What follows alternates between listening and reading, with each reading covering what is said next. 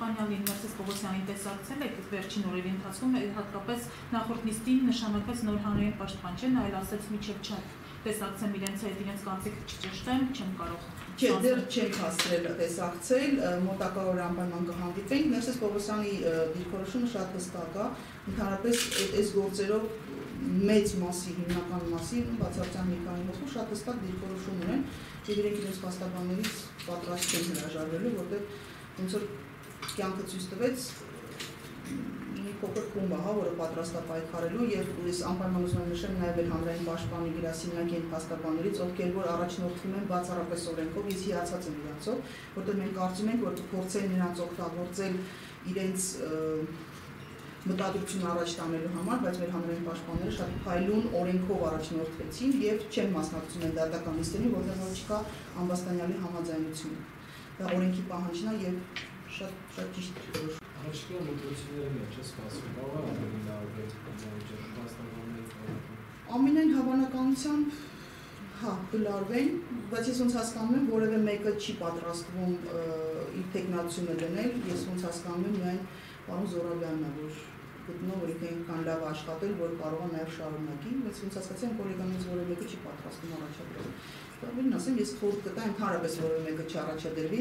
որովհետև որևէ տարբերակ անցնելու հաստաբաների բալտում այլ այլ անձի բացի զորավանից այս պահին ես գտնում եմ որ չկա։ Իսկ ինչպես եք տեսնում, եթե ոչ շուրջ առաջադրվի, ինչպես եք տեսնում փոփոխությունը հաստաբաների բալտում։ Այս պահին հնարավոր չի։ Հավատացեք, այնպես որ ինչպես Հայաստանում հնարավոր չի անել ընտրություններ եւ ընտրությունների միջոցով չէ հեղափոխության կոչ չեմ անում, ինչ կասկածեք բայց այնպես որ ինչպես ռեսուրսի դեմ հնարավոր չի դուրս գալ Հայաստանում ու ընտրություններով ինչ-որ բանի հասնել, այնպես են փաստաբանների պատում ես գտնում եմ, որ այս բանին չկա որևէ հնարավորություն ընտրությունների միջոցով փոփոխությունների հասնելու ցավոք սրտի շատ քիչ են իմ փաստաբանները, ովքեր որ պատրաստ են փոփոխությունների։ Մեծ մասը գիտեք, ասում են լավ, դե ինձ բան չեն ասում, դե ուզում եք թող լինի, բայց ինձ չի կարելի։ Ինչ որ մի պահ կգա, որ հենց այդ դե լավ ինչ կլինի փաստաբանը կկանգնի փաստի առաջ ու չի լինի պաշտպանված, հա։ Փաստաբանությունը ցավում են, բայց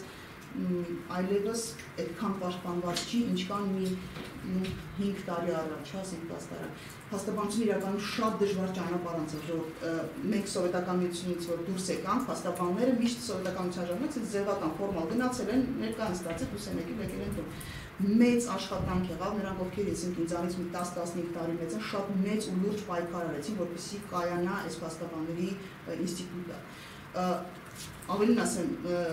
իմ հասակակիցները մոտավորապես պայքարեցին նրա համար, որ գին փաստաբանները կարողանան ավելի հաստատել հատկապես քրեական գործերով, ինչը շատ մեծ դժվարություններ մենտալիտետի հետ կապված է, այս ամեն ինչի հետ կապված։ Հիմա այս ամեն ինչը այնքան հետ ենք մենք գնացել, այսօր փաստաբանը դատական համակարգում, արտադրության համակարգում ամենա վատ վիճակում գտնվողն է։ Եթե նայեք դատախազները կարող են դատանի դահլիճում հայյանք տալ, կարող են շիշ շպրտել ամբաստանյալի վրա, հա, ու դուք երբեք չեք տեսնի, որ դատախազին